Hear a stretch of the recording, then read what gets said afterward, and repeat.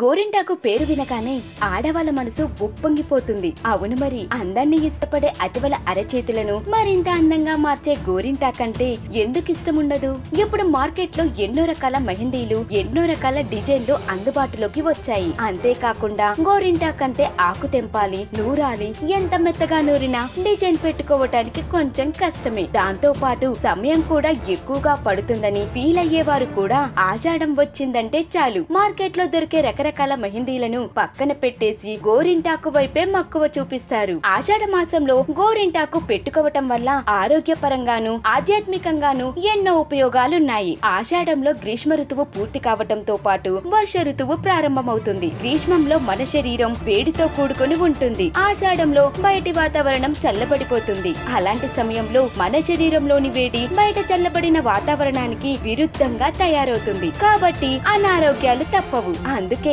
గోరింటాకు పెట్టుకుంటారు. గోరింటాకుకు శరీరంలో ఉండే వేడిని తగ్గించే శక్తి ఉంటుంది. అంతేకాకుండా గోరింటాకు రోగ నిరోధక శక్తిని పెంచుతుంది. అందుకే ఆషాఢంలో గోరింటాకు తప్పకుండా పెట్టుకోవాలని పెద్దలు చెప్పటమే కాకుండా డాక్టర్లు కూడా మంచిదని చెబుతున్నారు. ఆధ్యాత్మిక పరంగా గోరింటాకు సౌభాగ్యానికి ప్రతీక అని ఆషాఢంలో మహిళలు గోరింటాకు పెట్టుకోవటం ద్వారా సౌభాగ్యాన్ని పొందిన వారవుతారని జ్యోతిష్యులు అంటున్నారు. ఇటు ఆరోగ్య పరంగాను అటు ఆధ్యాత్మిక పరంగాను ఎన్నో ప్రయోజనాలున్న గోరింటాకును తప్పనిసరిగా పెట్టుకోవాలి. దీనివల్ల మంచి హెల్త్తో పాటుగా చేతులు ఎర్రగా పండి అందం ఆకర్షణ ఇనుమడిస్తుంది. మరి ఇంకేం సిటీలలో గోరింటాకు దొరక్కపోతే ఊరి నుండి తెప్పించుకొని రుబ్బించుకొని అమ్మ చేత చెద్దమామ పెట్టించుకునే ఆనందాన్ని మిస్ అవ్వకండి.